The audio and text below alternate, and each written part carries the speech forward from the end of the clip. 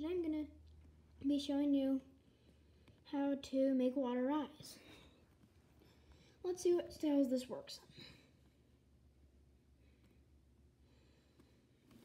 Okay, so it works on the first second. One moment, it's working on it. First, second,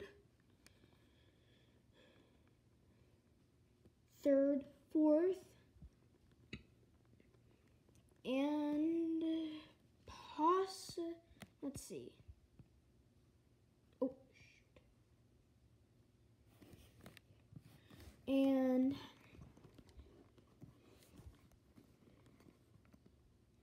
okay, so it works on all five. I'm gonna do this on Super Mario Bros. U because that's the style I like.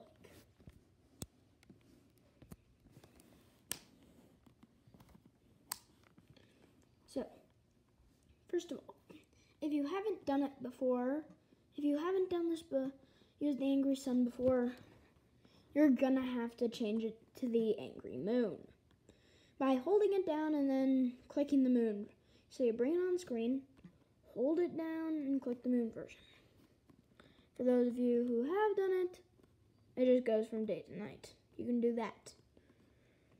This only works on this level while making the the poison rise on this level because this is the only level you can get poison on. So, here's how. Click this button. There are two different things. This one, which is how high can possibly be, and this one, which is how how low is it always going to be. How high it always is going to be. If they're on the same level, it will always be on that level. But if they're not, let me show you what happens. Okay, let's put a bit of ground. Move you up there. Also, you may have heard me mention this in one of my other videos. You can delete the moon if it's annoying for you.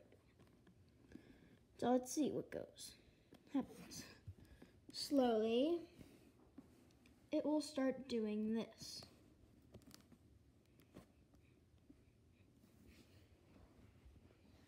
Just slowly rising. Now, the thing is, the best part is, hold this, hold this down, and you can have two, three, three speeds. Slow, medium, and fast. So, you can also change, I wonder what happens when we change it to Oh, okay, now it's to lava. See? Oh, now it's acidic water, lava. Oops, sorry. Same thing happens. So, that has been how to make water, I mean acid, what, oh, forgot to tell you something.